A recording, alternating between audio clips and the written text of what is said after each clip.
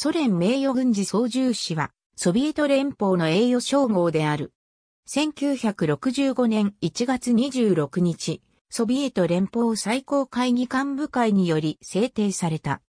主に航空部隊や軍の機関、士官学校及びその他の軍組織、部隊に所属している者や、操縦士または操縦教官のうち一級技術を有している者が対象となった。それらの中で航空技術の開発や高度な教育、飛行技術、また長期間にわたる安定した飛行など優れた業績を残した者に、当局よりソ連名誉軍事操縦士の栄誉称号が与えられている。受賞者の選定は国防省の推薦に基づき、ソビエト連邦最高会議が行っていた。称号の受賞者には同時に、気象も贈られた。記章は通常、右胸上部に佩用し、他の勲章よりも上に配置した。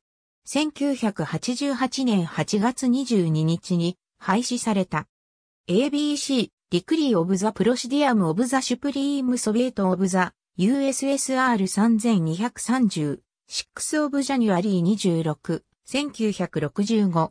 Legal Library of the USSR、2012年2月21日、閲覧。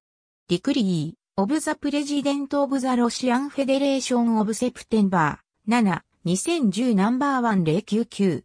Russian Gazette、2012年2月21日閲覧。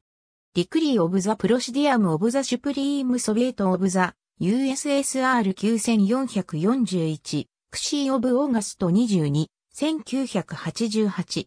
Legal Library of the USSR、2012年2月22日、閲覧。ありがとうございます。